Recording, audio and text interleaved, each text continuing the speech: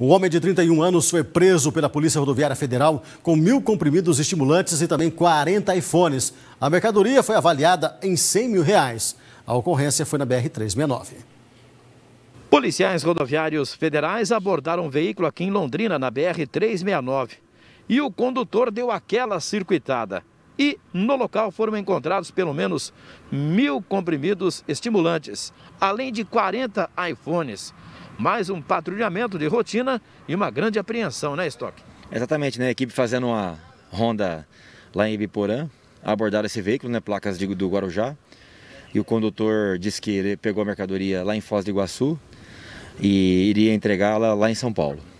Bom, é contrabando, é descaminho, o que, que é isso? É, os telefones provavelmente descaminho, né?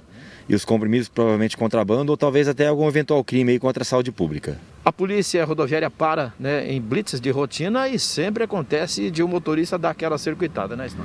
É, às vezes dá circuitada, às vezes a equipe também é muito experiente, né? É, já sabe mais ou menos a origem do veículo e tal, pela placa, enfim. Vários indícios, né? A equipe faz aquela fiscalização mais rigorosa, né? Essa equipe particularmente muito é, especializada nesse, nesse tipo de combate, esse tipo de crime. E aí caiu a casa, né? Fizeram uma avaliação, uma fiscalização mais apurada, mais rigorosa, e encontraram esses produtos no interior do veículo.